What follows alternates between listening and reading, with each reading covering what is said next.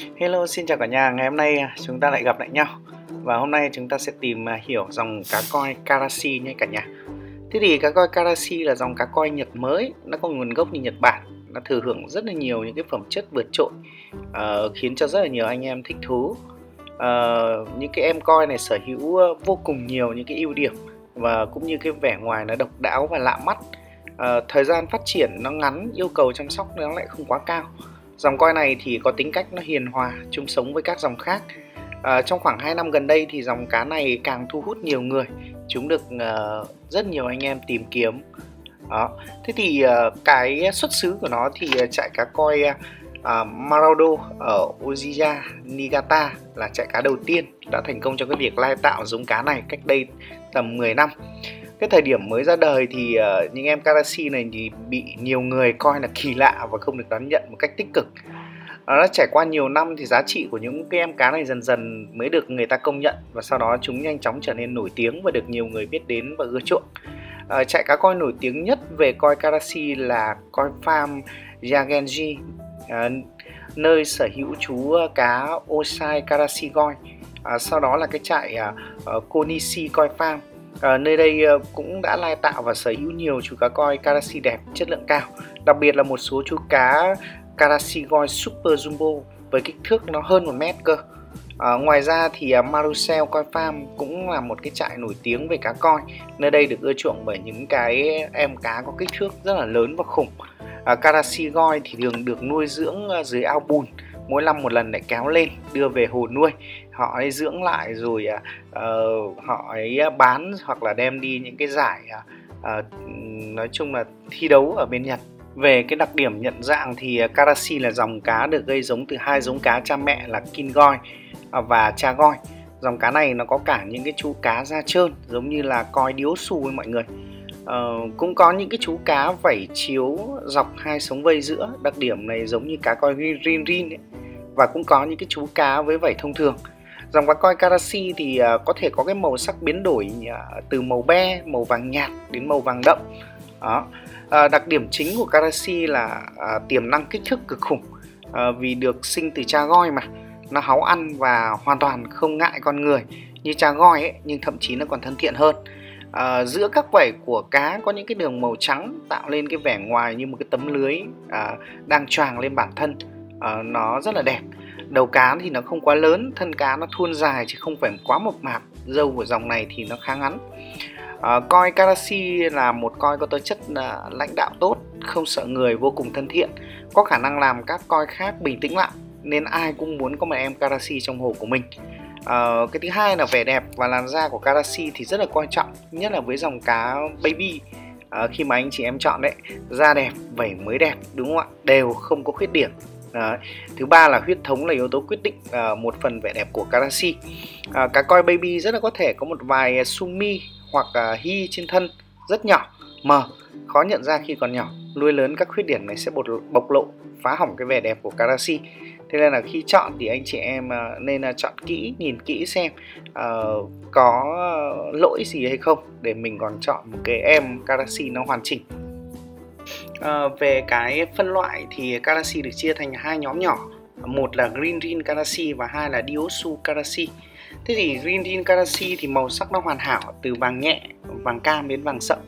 À, vẩy nó phát ánh kim lấp lánh ờ, của dòng Green Rin. À, dưới ánh nắng càng rực rỡ thì nó lại càng vàng. Thì giống như kiểu ở dưới hồ có một cái thỏi vàng nó di động ấy. Mặt có tướng nhưng mà tính cách nó hiền lành dễ gần à, coi lãnh đạo đạt à, cái thứ hai là Diosu Karasi thì nó da nó trơn. Hai hàng vảy lớn đối xứng trên lưng vây thân từ đầu đến đuôi cùng màu. Đấy, có cái phiên bản coi Diosu Karasi thì màu vàng và cam đỏ. Đấy hai cái màu nhé anh chị em lưu ý là có cả màu vàng và màu cam đỏ. Không lại cứ đi Karasi thấy ờ, người ta nói Karasi người ta có những cái em cam đỏ thì bảo là không đúng. Đấy thì ờ, với cái dòng này thì nó dạn dĩ mạnh dạn sau một hai tiếng quen người là nó nuôi luôn đưa tay xuống nó sẽ bơi lên mút uh, ưu điểm đó là cái ưu điểm ưu điểm chung của những cái dòng như Karashi, Chagoi hay là ờ, uh, Penigoi vân vân. Là những dòng đơn sắc mà nó nó dẫn đàn tốt. Uh, thế thì anh chị em ở đây cũng hiểu một điều là cái việc mà cá thuần và ép thuần thì nó hoàn toàn khác nhau nhé riêng cái cá thuần thì uh, khi mà nó gặp người nó dạn nó bơi thư thả. Còn ép thuần là khi mà mình cho tay xuống nó lên nó ăn nhưng sau đó nó lại uh, bơi đi chỗ khác thì là, là hai điểm nó khác nhau. Thời gian gần đây long thấy anh chị em hay là uh, tranh luận với nhau rất nhiều diễn đàn về cái chuyện là coi thuần và ép thuần nó khác nhau như nào. Nó chỉ khác nhau mỗi cái điểm đấy thôi à. Nó thuần rồi thì nó bơi sẽ rất là dạn nhẹ nhàng thư thả. Đấy, đấy là cái sự khác biệt. À, nhiều người thắc mắc về cái sự khác biệt giữa cá coi à, uh, Kingoi, à, cá coi vàng và karasi bởi cả hai đều có màu vàng. Đấy, thì à, anh chị em chú ý đó là cá Kingoi là dòng cá đơn sắc với màu vàng chanh nó gần giống như Karashi. Đấy, Akame Kingoi thì được gọi là Kingoi và, và nó có hai mắt nó màu đỏ hơn một chút với cá Karashi nên là anh chị em lưu tâm vào cái sự khác biệt này. Mặc dù cái màu sắc chúng khác nhau nhưng rất ít người có thể phân biệt được cả những nhà, nhà lai tạo ra chúng. Tại Niigata thì chỉ có một cái nhà lai tạo có thể phân biệt được chúng thôi. À, nói chung là à, nếu như mà chọn giữa ờ, được Kingoi và Karashi thì nói chung là cứ đẹp thì chọn là cũng được không có cái gì nó phải phải phải phải quá à, cái tiêu chuẩn ở đây cả. Về cái việc mà phân biệt uh, dựa vào hình dáng và màu sắc của Karashi thì cái phần da bụng của uh, Karashi thì có cái màu sắc là đồng đều giống nhau cơ bản chính là cái màu sắc đồng đều toàn thân. Ờ, uh, Kingoi có cái phần da bụng lại là cái màu trắng màu sắc cơ thể của nó là màu vàng thêm chút trắng. Đó anh chị em lưu tí lưu tâm. Karashi thì có xương lớn còn ờ, uh, Kingoi thì có chiều dài xương nó nhỏ hơn. Karashi thì có màu vàng lục mà màu uh, đậm hơn. Còn uh, coi uh, Kigoi thì có màu vàng sáng hẳn ra. Ừ, đuôi của Karashi thì có màu đỏ nhưng uh, coi Kigoi thì không có. Đấy, cái màu vàng của coi Karashi thì màu vàng nó hơi xanh hơi vàng một chút. Vàng của coi Kigoi thì là màu vàng hẳn à, nó nhạt. À, còn lại phân biệt giữa chúng dựa vào cái màu sắc từ khi trưởng thành từ 50 cm trở lên ấy thì à, coi vàng là cái coi đột biến. Thân nó màu sáp mắt màu đỏ màu đen màu vàng như là ấn ngọc à, tính tình thì thân thiện dễ tiếp cận. À, cái mạng uh, Furukin thì rõ nét ánh sáng kim loại nó sáng hơn sáng chói đấy người ta gọi là sáng chói uh, thì có màu vàng tương tự như con Kigoi. Uh, mắt màu đỏ hoặc đen sự khác biệt lớn nhất chỉ được phân biệt trước và sau khi trưởng thành ở kích thước khoảng là 50 cm do đó những người có kinh nghiệm nhất cũng thêm không thể phân biệt được. Galaxy thì có màu vàng xanh sau khi khoảng 50 cm càng trưởng thành màu nền chuyển sang vàng hồng vàng sáng. Uh, nhưng không phải là cái vảy sáng bóng như Kigyu. Uh, coi Kigoi thì mắt đỏ hay đen đều xuất hiện vàng sáng cả. Đó thì đó là cái sự khác biệt mà anh chị em lưu tâm. À, về cái tiêu chuẩn chọn cá coi Karashi đẹp thì một số kinh nghiệm mà uh, của những anh em đi trước cũng như là uh, được uh, học hỏi thì thứ nhất là về hình dáng cơ thể. À, để đánh giá một chú cá coi đẹp hay không thì người ta thường hay dùng ba tiêu chí là chất lượng hoa văn thân cá và hình dáng cơ thể. Tuy nhiên thân cá coi Karashi thì không có hoa văn vì vậy hình dáng cơ thể cũng với chất lượng là hai yếu tố quan trọng nhất. À, cái thứ hai là về thân cá thì một chú cá coi Karashi phải có thân hình với cái vẻ ngoài nó khỏe mạnh thân hình từ bên ngoài thấy giống như một cái chiếc tàu ngầm vô cùng nhanh nhẹn. Cái này là đặc điểm chung của tất cả coi rồi. Bụng cá nó không được phệ này. Khi nhìn từ trên xuống thì à, bụng nó phình à, nếu như không được phì à, tức là từ trên nhìn xuống dưới bụng nó không bị phình sang một bên ấy hoặc là bị phình sang hai bên. Đấy, thân cá thì không được ngắt quãng thân cá không được quá dài cũng không nên quá ngắn sẽ làm mất cân đối đi. Thì à, tiếp theo là về cái phần đuôi cá thì đuôi nó phải dày độ cong không được nhọn à, ở các vùng cong. Khi sờ vào thì có cảm giác nó mịn màng à, nếu như ờ, một chú cá coi đuôi ngắn thì sau này phải phát triển thân cá nó sẽ không phát triển được dài kích thước của cá nó cũng sẽ nhỏ đi. À, về cái màu sắc thân cá thì trên ờ, thân coi karasi tuyệt đối không được có thêm hoa văn cũng không được xuất hiện thêm bất cứ một cái chấm hi sumi hay siro nào là nhỏ nhất. À, nếu không thì cá sẽ không đạt đến độ hoàn hảo à, thậm chí bị đánh giá thấp như người ta thường hay nói là cá lỗi đấy. Toàn thân cá nó phải đồng đều màu sắc hài hòa từ đầu đến đuôi. À, Ờ, thứ năm là Fukin mạng vảy lưới. Thì Fukin là cái mạng lưới đường viền quanh các vảy của cá. Nó có cái hình dạng giống như một tấm lưới choàng lên thân cá ấy. đây là một trong những cái yếu tố quan trọng dùng để đánh giá những chú cá coi đơn, đơn sắc giúp quyết định giá trị của một chú coi nó có có chất lượng hay không. À, tiếp theo là các vảy cá nó phải xếp chặt chẽ với nhau. Những đường vảy này nó không được mờ nhòe cũng không được chỗ lớn chỗ nhỏ mà phải đồng đều. Đường nào cũng giống đường nào tạo cảm giác nó vô cùng hài hòa à, không phải coi karashi nào cũng có furikin à, Karashi thì cũng có những cái chú cá nó không có vảy không có fukurin à, thì cũng không làm cho chất lượng của cá nó giảm. Nhưng đã có thì những cái đường này nhất định nó phải đẹp và rõ ràng. À, và cuối cùng là về cái dáng bơi thì dù đã được uh, chọn coi nó đẹp rồi nhưng mà dáng bơi nó không uyển chuyển không duyên dáng mượt mà thì vẫn chưa đạt tiêu chuẩn hoàn hảo đâu đó, à, anh em cũng không thích một cái cá cá nó mà bơi nó co giật hay là bơi nó không được cái dáng đẹp. Đấy, đấy là cái lý do mà trên chúng ta bàn về cái chuyện là rất nhiều anh em bàn với cái chuyện là, là, là nó được thuần hay là ép thuần nó là như thế đấy anh em về cái việc mà phân biệt giữa cá coi Nhật F1 và coi Việt thì anh chị em cũng biết qua rất nhiều video rồi, nó cũng giống nhau thôi. Coi Nhật là bố mẹ nó thuần Nhật, còn coi F1 và coi Việt thì ờ, mà người ta đi du lịch sang Việt Nam rồi nó cho đẻ tại Việt Nam rồi lấy F1 ờ, nó lai tạo với nhau lại thành coi Việt thế thôi.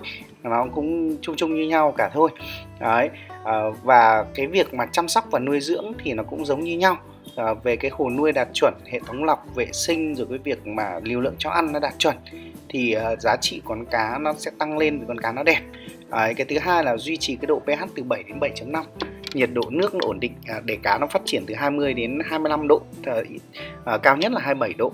Đấy, hàm lượng oxy hòa tan trong hồ nó tầm 2,5 mg trên lít. À, anh chị em cũng lắp thêm máy oxy. Đấy. còn nếu anh chị em nào mà uh, hồ hoặc là cái nước đầu nguồn ở nhà có pH cao thì mình hạn chế sử oxy và mình uh, tìm những vật liệu lọc hay cái những cái sản phẩm để giảm cái độ pH xuống. Đấy, và cái đồng độ nitri trong nước quá cao hoặc nhu cầu thay thì chúng ta thay nước cứ hai ngày rút đi khoảng một phần. Để chúng ta xử lý cái này thì những video trước lòng cũng nói rồi. Ờ, và thường xuyên theo dõi trong tình trạng cá trong hồ anh chị em nhé. À, đặc biệt lưu ý quan trọng nhất là phải thiết kế được hồ cá coi nhật nó đạt tiêu chuẩn à, thì anh chị em nuôi nó mới nhàn được. Còn nếu anh chị em mà không đạt à, đủ cái tiêu chí về hệ lọc độ sâu diện tích hồ à, đảm bảo nguồn thức ăn thì sau này cứ xảy ra một cái tình trạng gì đấy thì anh cá nhẹ thì anh của anh chị em nó sẽ có bệnh. Ví dụ mưa phát là cá nó đỏ mình luôn. Đấy, hoặc là cho ăn nhiều một phát là cá của mình nó có gì hiện tượng là uh, uh, vẩy nó bị sùi hay là cái gì đấy vân vân. Uh, thì có rất nhiều những cái tình trạng và rất nhiều anh em đã xảy ra tình trạng như vậy rồi. Thế nên là cứ chuẩn là được. À, uh, coi Karashi trưởng phát triển tốt nhất um, ở cái hồ có thể tích lớn hơn một nghìn à, khổ à, một nghìn galon tức là một khối nước trở lên đấy cần đảm bảo cái nền hộ tốt uh, uh, hút mặt hút đáy vân vân nó sạch sẽ hồ thì nó sẽ phát triển thôi. Đó. Uh, về cái giá thành của Karashi thì uh, với Karashi Nhật chuẩn thì uh, thường từ 10 đến 15 sen thì nó có giá từ 600 đến 2 triệu. Uh, còn lại từ uh, những cái mức ờ, uh, CM cao hơn thì nó sẽ giá cao hơn. Uh, nó sẽ phân loại từ tầm khoảng độ từ 1 triệu 8 đến 3 triệu trong cái khoảng là từ 20 sen cho tới 30 sen còn lại từ 40 sen trở lên thì giá nó sẽ sẽ dao động cao hơn. Thường thì thực ra thì những em đơn sắc thì giá nó sẽ rẻ hơn là những em cá coi uh, bình thường khác. Uh, nhưng tùy những cái em cá coi đơn sắc nào nó nó nó đạt cái độ đẹp cao thì giá cả nó lại được tăng cao theo đó nên là anh chị em cũng uh, chọn lựa theo cái sở thích cũng như những nhu cầu của mình nhé Ok, thì ngày hôm nay chúng ta tìm hiểu Galaxy đến đây thôi. Rất là cảm ơn anh chị em đã theo dõi video. À, anh chị em có thể like, đăng ký kênh để ủng hộ kênh ngày nó thêm phát triển. À, hẹn gặp lại anh chị em ở những video lần sau. Xin chào và hẹn gặp lại.